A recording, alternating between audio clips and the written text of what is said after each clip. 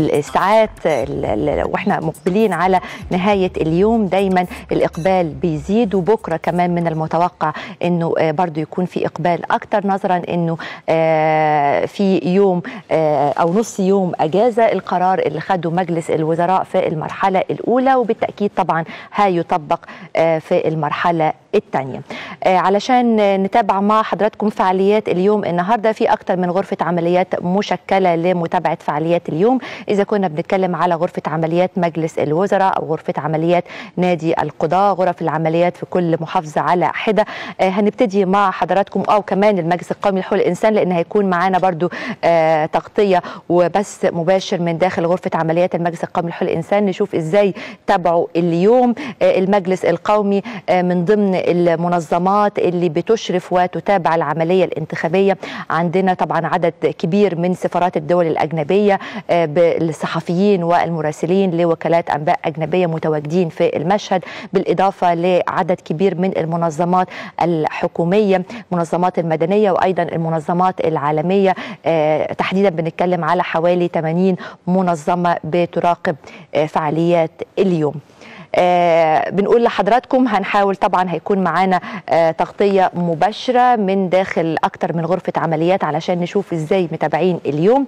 لكن بكل المقاييس آه إذا كان في أوجه تشابه ما بين المرحلة الأولى والمرحلة الثانية فهتكون في التنظيم. في الإجراءات الأمنية اللي تم اتخاذها على أعلى مستوى والحمد لله ما سمعناش عن أي مشاكل أي مشادات أي أعمال عنف. ده طبعا لأن التأمين مهمه مشتركه من خلال وزارة الداخلية وبالتعاون مع القوات المسلحة.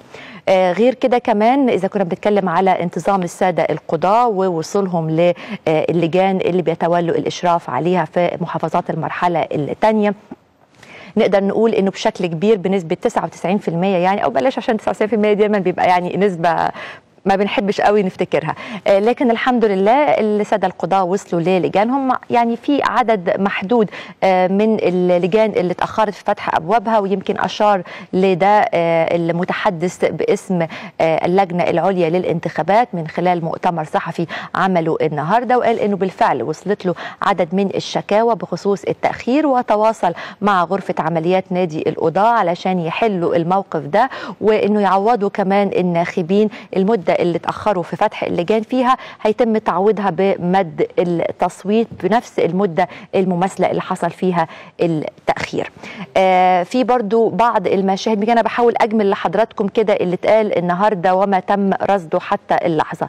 الدعاية الانتخابية ما زالت برضو في بعض التجاوزات بعض اللافتات اللي بتكون معلقة واللافت للنظر كمان إنها في محيط اللجان. وأشار لده برضو المتحدث باسم اللجنه العليا للانتخابات قال إن إحنا رصدنا وهيتم التعامل مع هذا الأمر وإنه الموضوع ده مسؤولية اللجنة العليا بالأساس مش مسؤولية المحليات ولا المحافظات. وإنه تم بالفعل التعامل مع هذا الأمر وناشد إن أي جهة يكون عندها ملاحظات أو مخالفات يعني يبعتوها للجنة علشان يتعاملوا مع المسألة بسرعة. وفي برضو نقطة مهمة تم استحداثها المرة دي وإحنا إذا كنا بنتكلم على إن في دعاية في محيط بعض اللجان فقيل إنه لأول مرة يبقى في قاضي بيشرف كمان في محيط اللجنة. في قاضي عندنا داخل اللجان لكن في قاضي آخر بيتفقد محيط اللجنة عشان لو كان في أي تجاوزات أو أي مشاكل, مشاكل يتم التعامل معها وإبلاغ القاضي بالداخل.